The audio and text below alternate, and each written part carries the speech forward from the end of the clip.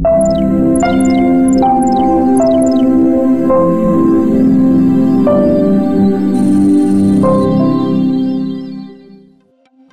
алейкум, дорогие телезрители, с вами очередной выпуск информационно-познавательной телепередачи «Семейный доктор». И мы сегодня в гостях в научно-исследовательском институте кардиологии и внутренних болезней города Алма-Аты.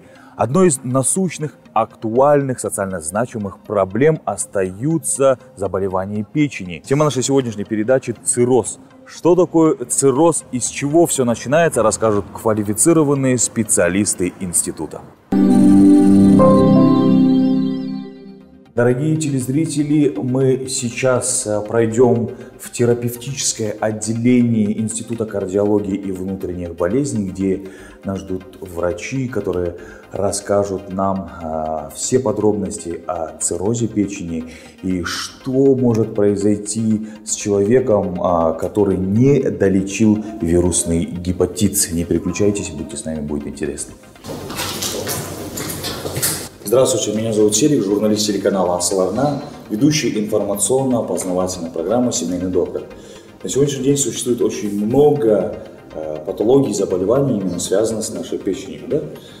Э, и мы решили сегодняшнюю передачу посвятить именно э, одной из коварных и распространенных патологий цирроз. Расскажите нам и нашим дорогим телезрителям об этой патологии все, все подробности, с чего все начинается. Цирроз печени – это хроническое заболевание, которое прогрессирует.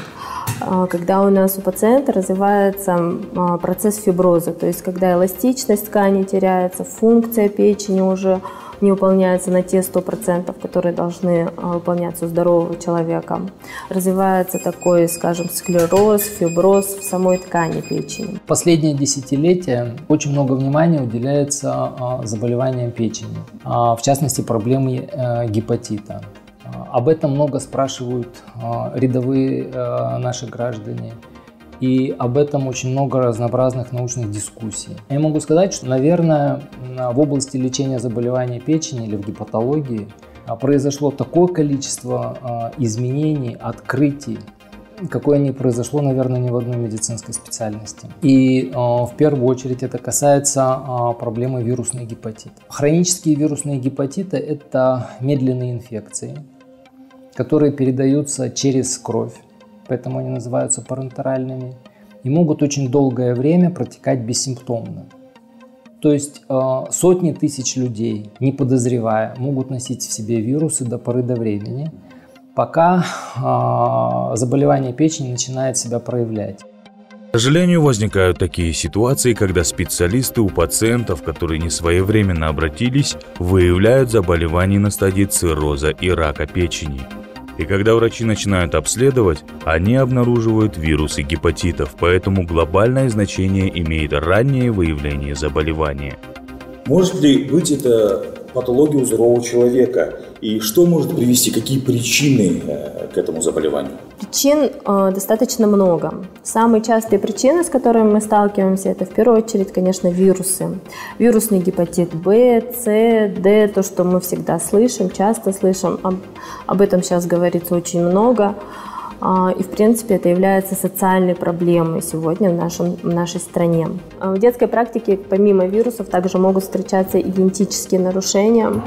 А, когда идет нарушение обмена железа, это гемохроматозы, могут быть нарушения, проблемы с медью, это Вильсона-Коновалова заболевание. Также может быть альфа-трипсиновая недостаточность или же пороки развития той же печени или желчеводящих путей. Тоже могут приводить уже к экстренным, к экстренным показаниям той же трансплантации печени, то есть патология, которая требует экстренного вмешательства. Не могу не отметить также и такую причину, как жировая болезнь печени.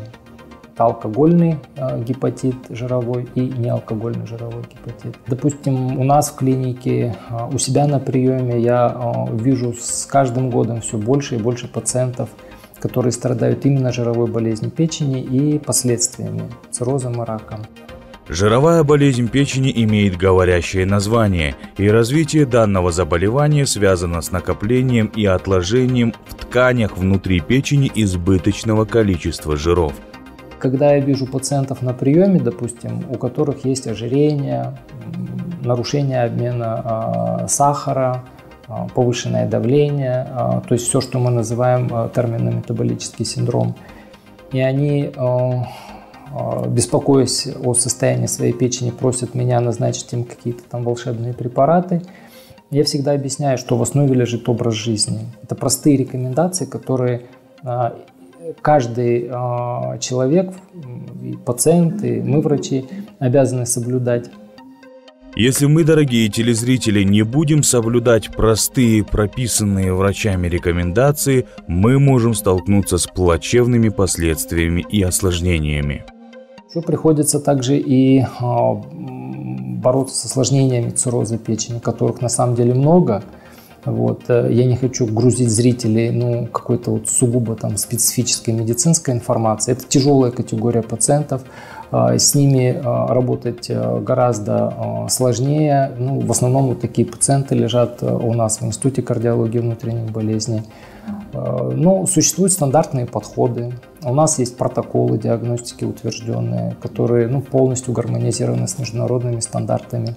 А мы стараемся э, им следовать, и у нас много случаев, когда такие пациенты, а, избавляясь от гепатита, они в конечном итоге все-таки имеют шанс на дополнительные годы жизни.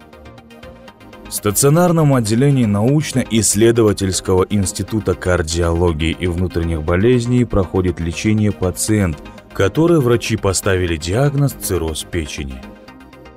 С чего все началось у пациента? У пациентки был вирусный гепатит Б с D-гепатитом скомбинированный, который диагностировали чуть позже, конечно, но а, ей начали этиологическую терапию, причину противовирусные препараты она принимает до сих пор. Но, к сожалению, прогресс заболевания есть. И сегодня мы, а, конечно, видим уже более выраженное проявление цирроза печени, несмотря на то, что она получает все препараты, а, которые лечат нам симптомы. Также она получала и даже малоинвазивные методы лечения для того, чтобы уменьшить прогрессирование симптомы заболевания. Вот. Но, а, в принципе, у пациентки на данный момент уже более-менее стабильное состояние. Сейчас у пациента одна надежда на трансплантацию – и хотелось бы ей от всей души пожелать скорейшего исцеления и выздоровления. А, дорогие телезрители, мы сейчас в кабинете функциональной диагностики. Хочу напомнить и сказать, дорогие друзья, что нужно соблюдать э, этикет диагностики. Ведь от диагностики и лабораторных исследований зависит дальнейший ход лечения пациента ну и нас в целом. Давайте пройдем, где нас ждет врач. Э, сейчас, э, получается, врач отпустила пациента, э, и вот, как вы видите, заполняет специальный реестр, в котором она в подробности описывает все то, что она производила на УЗИ аппарате. Ну, расскажите нам тогда ага. более подробнее, как вы делаете именно, а, производите а, диагностику угу. при а, циррозе печени? Ну, есть очень много методов исследования. В основном это, конечно, ультразвуковое исследование.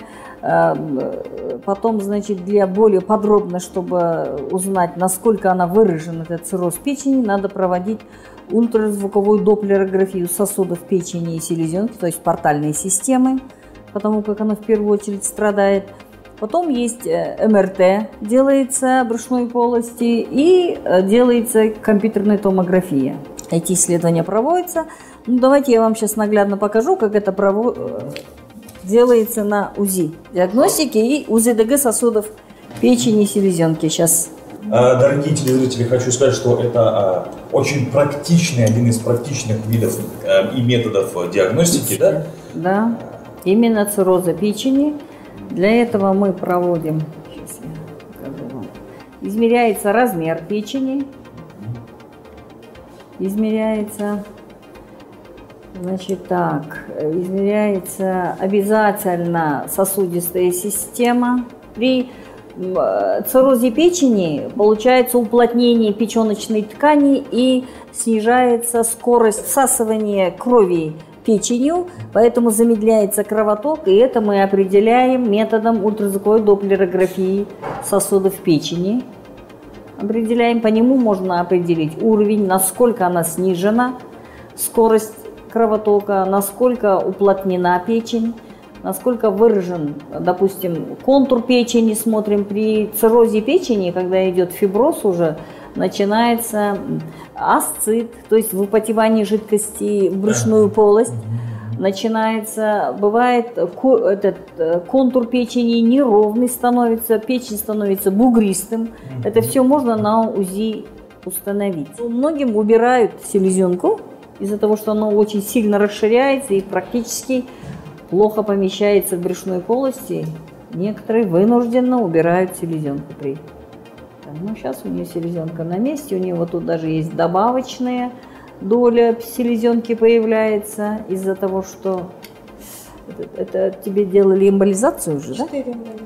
А, из-за эмболизации. Вот когда лечат, делают эмболизацию селезенки, она сильно, когда сильно расширяется, эмболизация селезеночной артерии, и мы тут оцениваем, насколько она была продуктивной. Это эмболизация, то есть тем самым создают искусственный инфаркт селезенки, инф...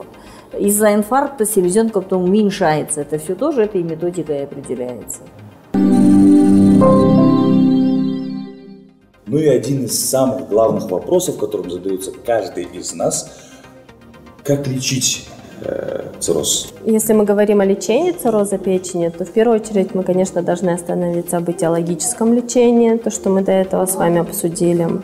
Если мы говорим уже об осложнениях самого цирроза печени, о так называемой портальной гипертензии, существуют лекарственные средства, которые должны приниматься постоянно. Существует такой метод лечения самой уже тяжелой категории пациентов с декомпенсированным циррозом, как трансплантация печени. И э, наши хирурги, э, это многократно освещалось также в прессе, успешно э, реализуют программу по трансплантации печени. Анализируя результаты проведенных трансплантаций печени по выживаемости пациентов и по исходам в целом, все данные проделываемые работы сходятся с европейскими стандартами, с данными других стран. Конечно, не дай бог, но, дорогие телезрители, хочу вас успокоить. У нас есть все возможности для того, чтобы провести трансплантацию печени совершенно бесплатно.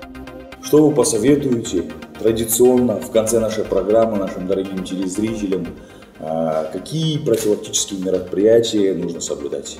Если мы говорим о таких здоровых людях, то мы, конечно, должны говорить, что это здоровый образ жизни. Сегодня в понятие здоровый образ жизни это входит, конечно, исключение вредных привычек.